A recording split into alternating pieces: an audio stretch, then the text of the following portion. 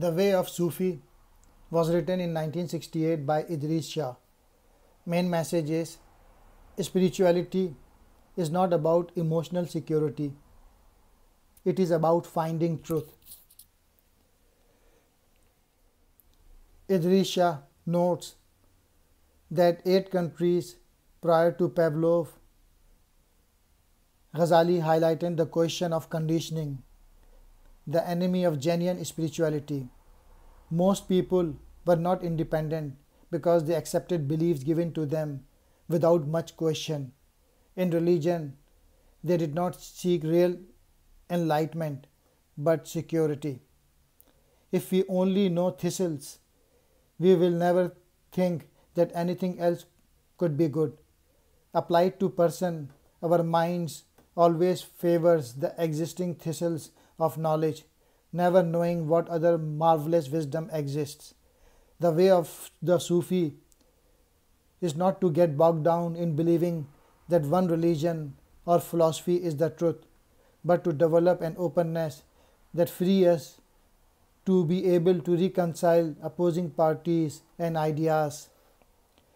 Sufis notes have been advisors to kings and worked behind the lines to bridge difference between people and religion.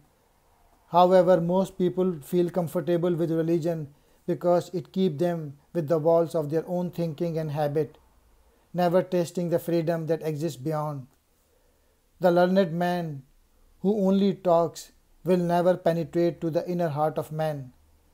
Sufi wisdom can't be gained from mere scholarship, which is why its form of teaching has always been through stories, legends, riddles, and jokes.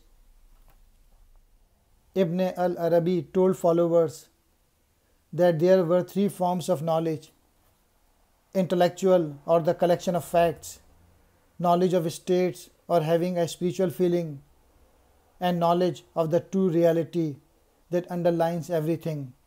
About the third form, he wrote, Of this there is no academic proof in the world, for it is hidden, hidden, and hidden.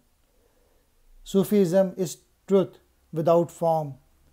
Seekers there are in plenty, but they are almost all seekers of personal advantage. I can find so very few seekers after truth. Many Sufi stories tries to show that the only real wealth a person can have is their knowledge and wisdom. Everything else is ephemeral. The Sufi student does not wish to become wedded to dogma, but seeks to have their eyes open to truth in whatever form it arises. The paradox of Sufism is that although it is usually described as mystical, its purpose is to increase the stories of rational truth in the world.